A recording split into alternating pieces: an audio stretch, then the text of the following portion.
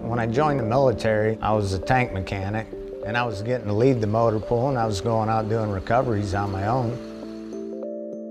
We provide emergency response, roadside assistance, jump starts, tows, and junk car removals.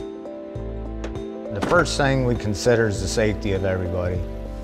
You know, each situation is different every time you go out, so that's what kind of makes it exciting. Bottom line, when I decided to buy the business, you know, I started at the bank, and at that time, you know, I pretty much found out that I had to do a business plan. I Googled it, and I was like, okay, this will be easy, you know? I can do this myself. A month or two doing a, the business plan, because that's how long it took me, because I was still working full-time as a diesel mechanic. Uh, that's when I found out that the Alaska Small Business Development Center, that they would do business plans.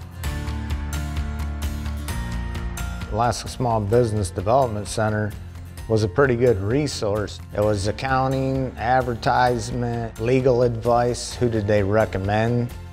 It's a good tool to have. In the military, you had JAG.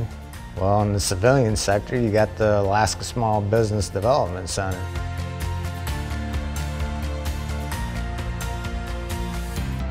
The way Badger Towing looks at it, a customer's already having a bad day. You know, we try and uplift their spirits. We let them know that no matter what, we're gonna take care of you and you do not have to worry about the vehicle.